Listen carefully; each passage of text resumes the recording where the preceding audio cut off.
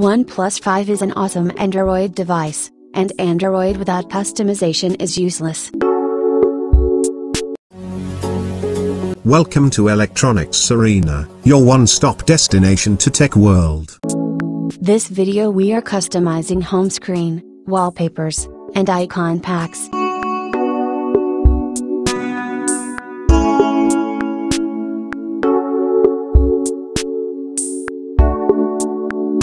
We are using Material Island's wallpaper app which is available free on the Play Store. There are various icon packs available in the Play Store, in this case we choose to get Pixel Icon Pack which is also available for free to download. This will change overall icons to rounded shape which does look good overall. This is a fast key launcher which has a keyboard in the home screen, so that you can search apps and contacts quickly without opening the app drawer. Follow Kid with Mobile on Instagram for latest tech news, tech videos, and tech updates. Full URL is instagram.com slash kidwithmobile.